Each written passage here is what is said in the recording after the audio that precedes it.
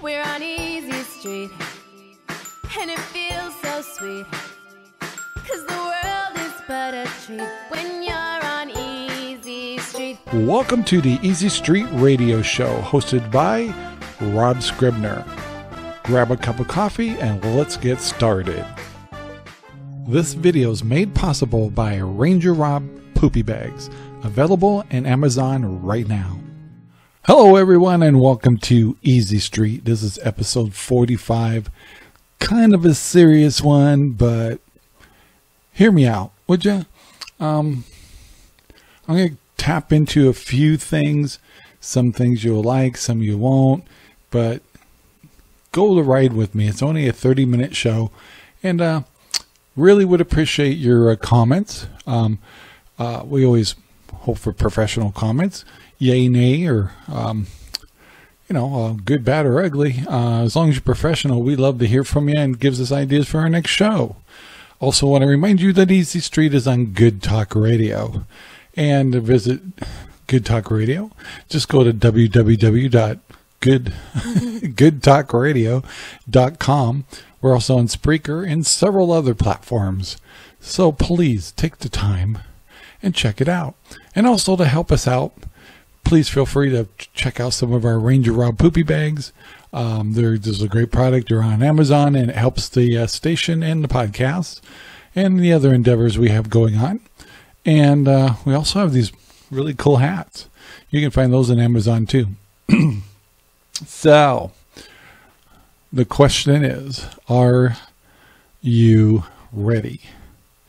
You go, okay, ready for what? well, it's a whole lot of stuff. We're kind of in this mode right now, and it's, it's April, getting towards the end of April, and we all need to realize that we've been in this lockdown, and a lot of things have been going on. First of all, the whole world's been on lockdown, and the economy is insanely down. Put it this way. Don't look at the stock markets, by the way. Doesn't give you the true. Someday the stock market might tell us exactly what's going on, but right now, don't look at it. We all wish it'd stay up, which it's kind of doing uh, because of our 401ks and retirement plans and stuff. And so, I mean, yay, yay, yay. Um, let's get into we're going to get into a couple of things, and, and I ask you to be patient and go through this with me. We're going to talk about the economic impact, but we're going to talk about faith a little bit too. And um, even if you're on the fence about faith and stuff, st- stick stick with me, would you? Just kind of um, give it a try. Just just give it a try. Um, you know, you guys want me to hear your side of things, whether it's atheists or all that stuff, and try to, you know, I, I hang on. I don't dismiss it. I, I, listen to what you have to say, and I ask if you would do that for me too. Well, a couple of things we got to get ready for. The food scenario. Um, we've got a taste of what life is going to be like with a little bit in the in the grocery stores. But a few things we haven't seen is the result of all these packing plants and meat and there's a lot of other problems with wheat. We don't produce enough wheat and so people who do produce enough wheat aren't going to ship it to us because they want to keep it from themselves with do you blame them? They're nationalistic, just like we are, or trying to be. Anyway, so we're starting to see here and there things missing on the shelves. And we never thought we'd see today, did we? yeah. But we're really, um, and we're seeing a little bit on meat too, but not enough to freak out too much. But in two, three, four, five weeks from now, we're going to wonder what the heck is going on. And it'll start off probably where you can't get some primary cuts of meat anymore because they've streamlined what they do have for production for meat into the simpler cuts um, just to save money and to get it out the door. But you're going to see prices probably starting increasing um, because of cause um, uh, supply and demand. The problem is, is you know, when you shut off the restaurants, you shut off all the things we've shut off uh, as far as people that make food or produce food for us, restaurants and stuff. They're not ordering right now. So if you've got a hundred cows a day you're producing every every day, and suddenly 50% of your orders stop. People still go in grocery stores and stuff, but your orders from restaurants and, and schools and things like that stop, yet you still have a hundred cows coming in a day. Pretty soon you have a problem. You tell, wait a minute, we can't take any more of these cows and we don't want to buy them anymore. And so then the farmers go, well, wait a minute, I have to sell these cows that produced them. And they say, sorry, we're not going to buy them. Or if we do buy them, we're going to buy them really cheap. Um, and which will really hurt the farmers. In a lot of cases, they're eliminating their uh, inventory. Let's just put it that way, which is not a nice. It's a nice way of saying they're slaughtering their, their or getting rid of their meat or euthanizing them before they're going to market because they have no market and they can't afford to feed them. So anyway, it's not a good scenario. And to get back online to, so they reduce down to say 50 cows a day, to get back up to 100 cows a day. How do you think that's going to happen overnight? Ain't going to happen. So we're going to see stuff in the grocery stores that'll be amazing to us to see because we've never seen it before. We have no idea what our grandparents went through. I used to laugh at my grandmother. She'd come over. I was a kid, and uh, she was from Boston. And when she used to um, cook when she, you know, it was just me and my father. I lost my mother really young, but she would always cook dinner for us to be nice, and it was great. Of course, I was a teenager and didn't appreciate it. Um, but she made potatoes all the time. And finally, I, I think it was my dad. I'm like, Dad, why does she make potatoes all the time? And he goes, Oh, well, back uh, back in the Depression days and stuff, that was the most affordable um, uh, vegetable you could buy, and uh, so that's what they could afford back then. So they learned how to cook potatoes in every which way that you could think of to feed their families. And so she just kind of kept that going, just always thought potatoes was a staple of uh, what we should eat. And uh, I've always remembered that. And so let's get up to today and say, let's say things start changing and maybe potatoes are going to be easy to get in vegetables and stuff like that, or certain kinds of vegetables. Um, are you willing to make the change? Are you ready to make changes in your diet? And then are you learning? Can you cook? I know there's a lot of people that just eat out all the time or have food delivered to them or pre-prepared. That might be a problem. There's actually a shortage right now of frozen pizzas. It's like, what? Excuse me? It's like, yeah, um, because of the companies that put the pizzas together, they're not running. it's cause and effect. So we're just talking about food right now, right? And uh, um, our next problem is going to come along is when you're unemployed and, and, and, and people want to either move, sell houses, stuff like that, or buy a car or anything like that. If you're on furlough or these kind of things, as much as the banks say, yeah, we'll be help helpful to you or we're postpone your loan for 90 days. The problem is what they're not telling you is the banks still require like, are you employed? Are you guaranteed to be employed? Um, there's some problems selling or buying a house or buying a car. Um, that's going to be an issue. And these guys that are getting money for their businesses, they're not being given money, they're being loaned money. So when they do go back to work or get their business going again, they now have a debt. Excuse me, I just I have water today. Should be vodka. Anyway, so uh, money is going to be a very strange thing, and then it's got to happen when you borrow a lot and go into debt a lot in the country. it also causes inflation. And so uh, we're going to see prices on things that are, that we're just not used to. Are you ready for that? Are you ready for what's coming?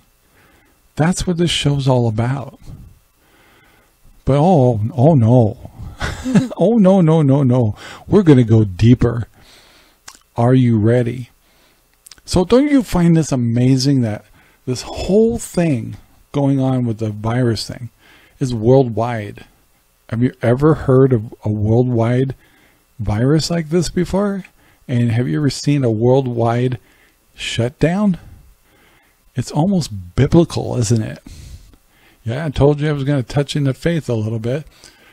I'm not saying it's biblical that it happened and stuff, but there's some amazing things going on lately um, that corresponds with that human book out there, the history of the human uh, man and woman called the Bible. And yes, I'm going to touch on that a little bit. And uh,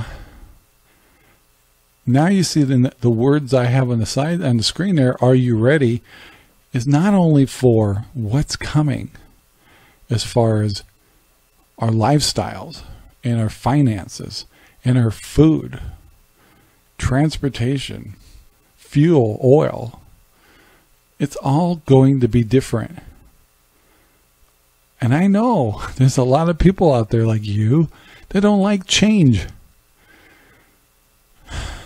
It's a paradigm shift coming, a big one. And uh, I don't know exactly what it's going to look like. And then, of course, they, they were talking about social tracking it was like, oh, do you want to work with somebody who's had the virus or hasn't had the virus before? Um, do we want to monitor them or have wristbands or something? That's going to be a, totally something different. Another thing they want to do is get rid of currency because they think it transmits too, me, too much stuff. And, and, and, and there's even talk that they want to get away from the way currency is backed, which is by oil and go back to gold, a reset. Are you ready for that? it's, it's a lot to take in, guys. This is, there's no, um, normally you can say, well, um, learn from the past, learn from history. Uh, some of this, I've never seen anything like it. Not sure exactly. Maybe, you know, if it was just one nation, you could kind of predict what's going to happen. But it's the whole world's affected here. And by the way, we don't have it half as bad as other countries like Africa. Those poor people are going to get hit badly. Not only are they having trouble with the the virus and the lockdowns, they're having locust problems and food production problems, big time problems. And of course, a lot of the countries are all getting nationalist, nationalistic and not necessarily wanting to help others. Take care of your own, right?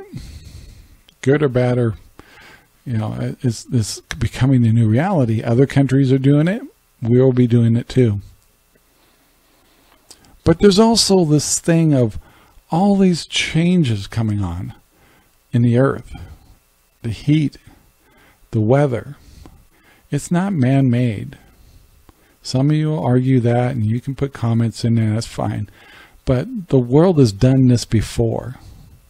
But this one, this is getting more fierce, more rampant, more earthquakes, more fires, more stuff coming out of the sky.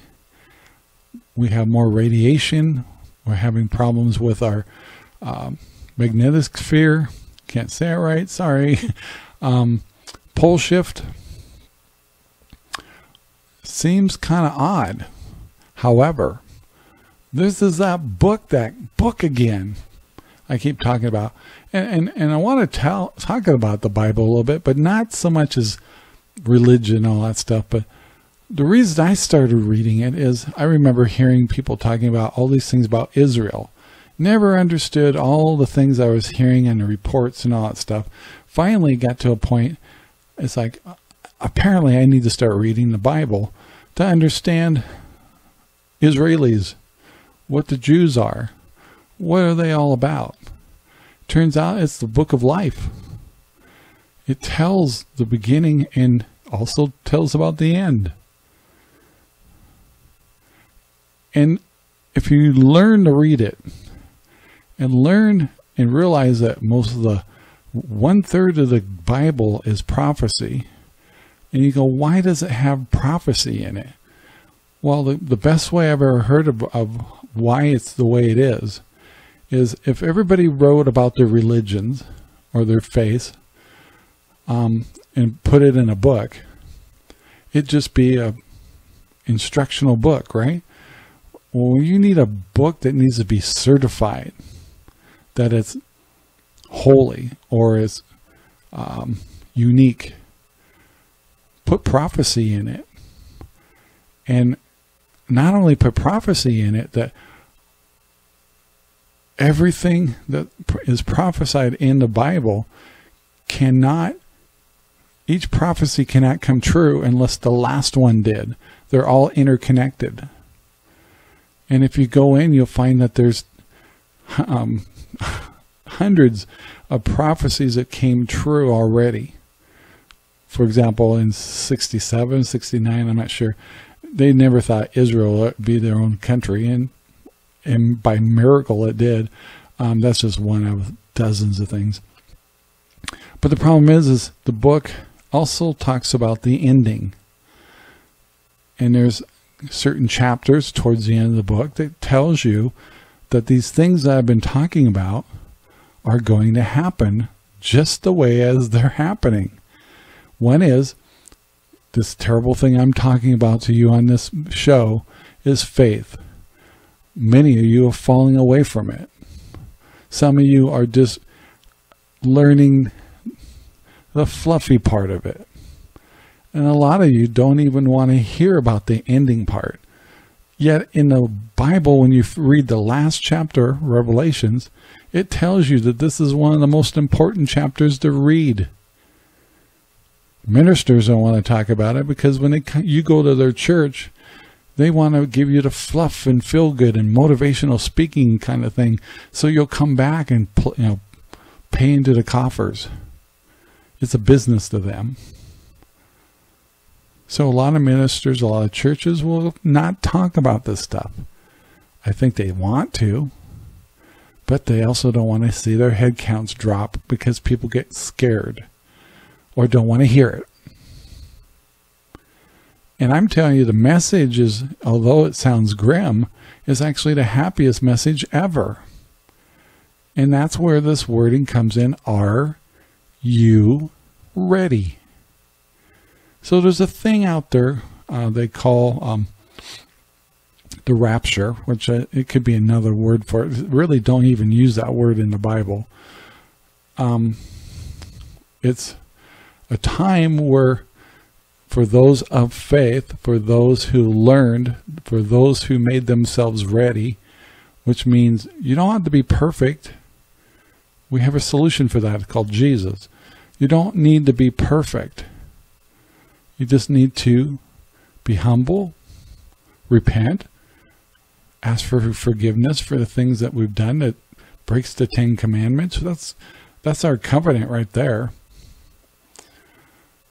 which is almost impossible for humans to follow, and that's why we had Jesus in the first place. He says these guys can't follow this. I'll die for their sins. Let them pass, basically. I'm trying to keep this in layman's terms. I'm not trying to get all fluffy and religious on you, but it's important. My mission, along with any other who's a Christian or of somebody of faith, is in these times, we, in order for us to look up and be ready, means that we also have to make sure that we tell anybody we know that this exists. It's up to you, though. It's not up to me to say, go read a Bible. Something. It's not a fun book to read. It's a hard book to read. I, I highly suggest audio. audio is the best. Find yourself some good shows like Tom Tom Hughes or there's a crazy guy out there. It's kind of fun to watch. His name's uh, Um, oh, that just went blank. Bailey. Anyway, um, there's a lot of shows that help you interpret it, and uh, they're readily available, and they're not that long to watch, and they're private. So I ask you again, are you ready? And I'm not going into detail what I mean by are you ready. Um, I'm asking, are you ready for what's coming in reality as far as economy and our lives? But and you're, we're talking uh, something much bigger, much bigger than all that, because this and these things that have been happening are written and prophesied. They exist and if their sequence is right, it will be an indication for those of faith to know what's happening. And it's not a time to be scared, it's a one to be prepared. The biggest statement you'll hear out of the thing is, when these come to pass, look up and be ready. That means that you understand your faith, you understand your mission, you understand where you're what's going to happen because it's a glorious thing. What are we're doing right now, we're just an ant on a on a hill, existing in a big place, and um, this is just the beginning part. We, you've been promised, if you learn about it, an eternal life. No more of this aches and pains and cramping and Crohn's disease and um, being overweight and and uh, being sick, or maybe you've uh, been injured. All these kinds of things are begone. It's a whole another life, but it's spiritual and you won't have this shell anymore. But in order to get this great gift, you have to understand your creator. You have to understand the rules that he gave us, which are pretty basic. And he only asks that you put your faith in him, give your life to him, repent and ask for forgiveness through Jesus. And that's enough of that. I'll, I'll, I won't go that much further. I'm not trying to turn you off. I just want you to be curious. Do you ever get kind of, you, you know, instead of trying to figure out which media is right or whatever, why don't you find out what's the big fuss about the Jews and Israel? What's the big fuss? There's only one way to find out. Read that book. If you want to understand, was there a flood and why don't they see? I mean, the evidence is there. There's some uh, studies in the Grand Canyon stuff. There's been some obvious things that there was a flood. So a lot of the Bible is backed up by uh, fact and by proof. There's not many other books I can think of that can do that. And not to mention fulfilled prophecies. So you got a lot to think about. Are you ready? After years of research and countless hours of R&D work, teams were assembled, research was presented, and the idea was put out to the public. If this could be done, the world would be amazed. Outdoor life would be changed forever. Hiking, vacation, and camping would never be the same. They got the work, they started designing, they made the product, and it's here today just for you. Yes, Ranger Rob poopy bags are finally here. They're bigger, deeper, smell like lemon, and strong. Available at Amazon at low cost and free shipping. And we are back. And yes, you get a chance, go check out Ranger Rob Poopy Bags. I think you'll like them. uh, created something we thought was pretty good, a little better, uh, definitely better than the uh, what you're probably used to. Give it a shot. They're affordable, and uh, you'll like them, and you'll never go back. Uh, so, getting back real quick about a touch a little bit. I don't want this to be a, this is not a religious show. I am not qualified. I can only give you a little bit of a hunch that maybe you should go check it out. Check it out. That's all I'm asking. However, don't think it's going to be a pretty sight. Will people die? Yep. Will people be hurt? Yes. Will people be crucified in a sense for having a, a faith? Well, according to the Bible, yes. However, if you have faith and know where you're going and you're ready, it's not going to matter much because the gift you're going to get and uh, standing up for what you believe in and what is right and standing up for God and Jesus and you're prosecuted for it. And you could because Christians tend to be a little rebellish. Uh, we could be a thorn in a lot of people's side. That are trying to run this place and uh, religion is and I'm not talking about religion actually. I don't really even want to call myself a certain religion. Uh, I follow the book. Um, I let people interpret it for me but I don't want to say I'm Lutheran or Baptist or or whatever different uh, scenarios you see out there. Uh, those are man-made religions. Just work on your faith, be independent, do your thing, and if you feel like you like to associate with a certain group in that, power to you. But the best thing to do is follow the Bible and read it. And don't think it's going to be an easy road. There's going to be suffering. However, there's some promises in there that's, that's going to make things a little easier for folks of faith when the time comes. Um, in the meantime, in the short term, we've got to deal with things like sh food shortages and things like that. So I'm saying if you can, this is the time to start learning how to grow a garden. This is the time to do a little prepping. This is the time to be able to defend what you have already. Let's hope it never gets to that but it could. And, uh,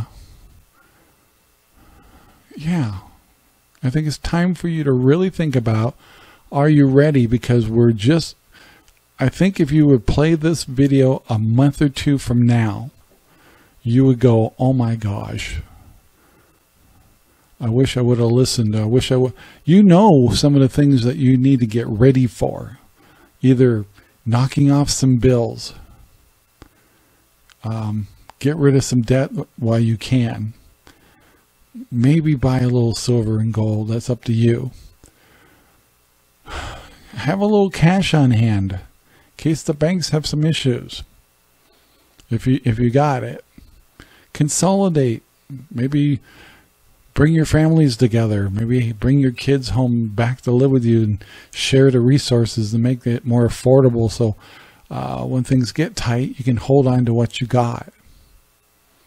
Those are kind of extreme.